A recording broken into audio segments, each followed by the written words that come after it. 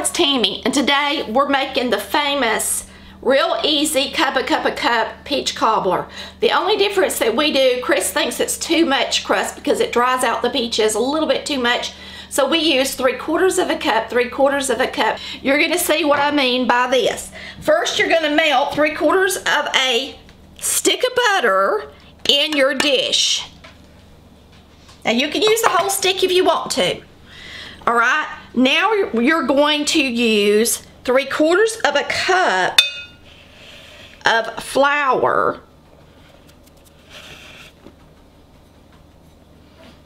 and three quarters of a cup of sugar. And the reason he, I, I think I already told y'all, he just doesn't like for it to be so doughy that it's too doughy. And this recipe's easy because everything equals everything. If you're using two cans of peaches, you want to go three quarter, three quarter, three quarter, three quarter. If you're using three cans of peaches, you can go a cup, a cup, and a whole stick of butter. How's that?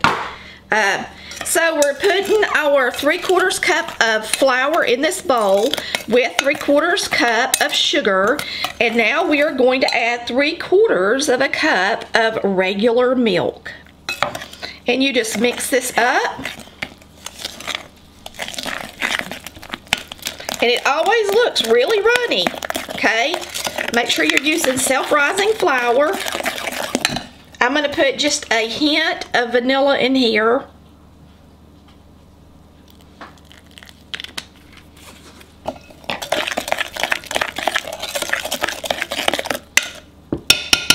And that doesn't look like it would make a cobbler, but it does. So what you're going to do is you're going to take your mixture and you're going to pour it into your dish. Okay, after you pour your batter down in there, then you're going to pour two cans of peaches in here. I'm going to sprinkle cinnamon on ours. You don't have to, but we like it. And I'm going to sprinkle nutmeg on it because we like that as well.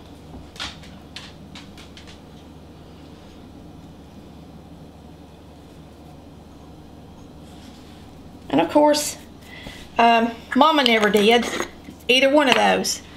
And I also like to put a few pecans on the top.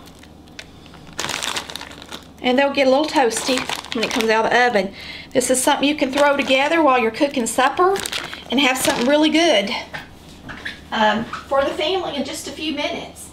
I like to take the spoon or something and just kind of run through the middle of it a little bit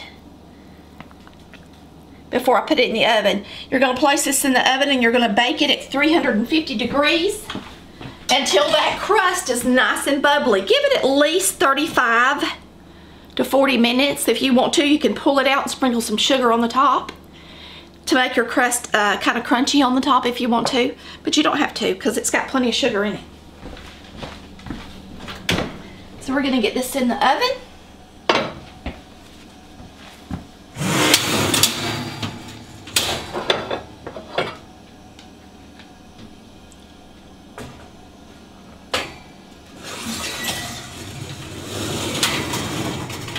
We'll see you in a few minutes with our delicious peach cobbler.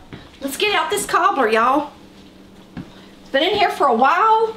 I had something else in the oven, so I had to cook it at 350, but now you can turn yours up. But the good thing about cooking it at 350 for about an hour is it gets nice and gooey ooey. And it, and it gives the breading a long time to cook.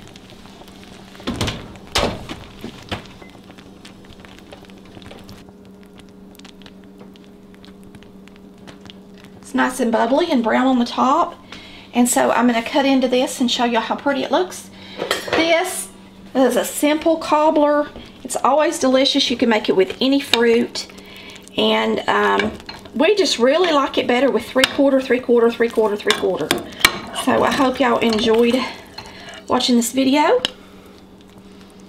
Yummy.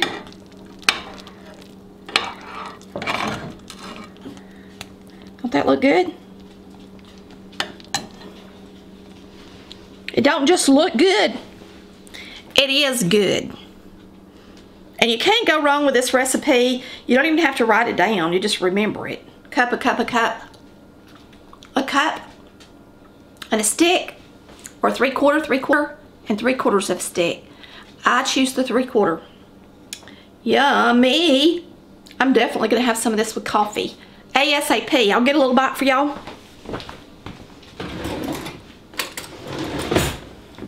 But you can tell it's nice and it's got a nice uh, uh, thick.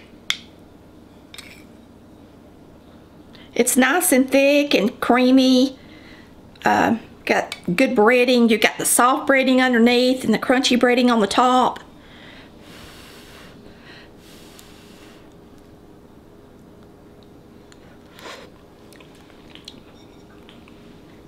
Good and sweet too.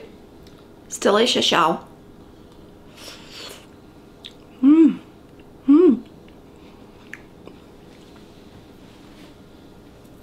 So if you're making this while you're making supper, go ahead and turn the oven up to 375 to 400 degrees so that you can get it out in time and you can um, have it ready when you get finished eating to have dessert.